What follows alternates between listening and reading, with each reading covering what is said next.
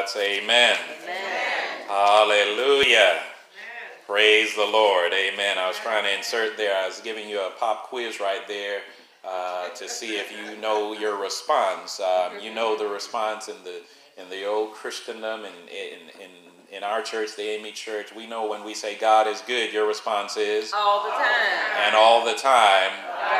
We, we got that down pat, but there, there is a there is a there's a greater there's a greater depth and profound declaration that you have been saying, but you may not have realized it, and that is when you hear hallelujah, your response is praise the Lord. And so when you hear praise the Lord, your response is hallelujah. Why is that? Because hallelujah translated is is it means the Lord be lifted up. And so when you say to me, the Lord be lifted up, I'm going to echo and, and say, ditto, praise the Lord. And when you say to me, praise the Lord, I'm going to echo and, and reciprocate by saying, hallelujah. Amen. So y'all, y'all didn't do good on that pop quiz, but you'll know next time. Amen.